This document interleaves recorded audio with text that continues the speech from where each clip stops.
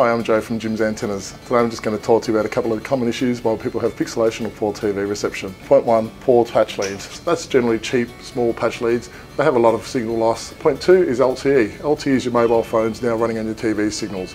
And point three, of course, is your antenna. A lot of people don't replace their antennas. They're quite often old and breaking down. Fly leads are the most common issue we get called out for. You can generally tell that they are poor quality if they are cheap.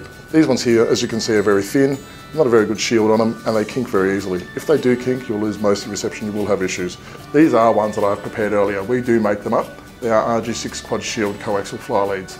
They have four layers of shielding, so ingress of noise is very low. Also very difficult to kick because they are so thick. So definitely worth getting your hands onto a set of RG6 quad shield fly leads. Another really common reception issue is LTE. LTE has only been around for a short period of time and is very, very difficult to diagnose without a meter. Excess TV channels that once were used for television have now been sold off to mobile phone carriers and used for mobile phones. So the signals from them are colliding in with your TV signals. Only way to really check LTE is with a spectrum analyzer.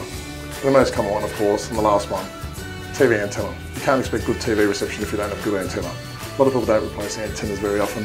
When they're old and they've been sitting up there for 20 or 30 years, you're not going to get good TV reception.